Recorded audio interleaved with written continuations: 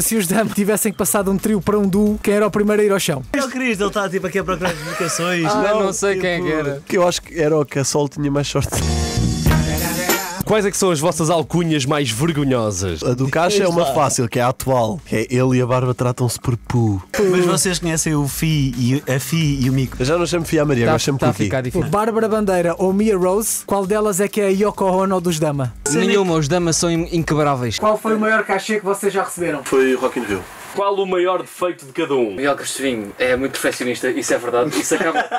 Pá, na medida em que a perfeição não se atinge. Qual é o nome do vosso grupo do WhatsApp? Ruffles, Farnito e Sujo. Já se chatearam a sério? Já. E porquê? Acontece. Há sempre fases em que uma pessoa está mais eh, ligada e a outra está mais desligada e isso acaba por arranjar alguns Afetar a nossa conflitos e e afetar a nossa realidade, a nossa dinâmica.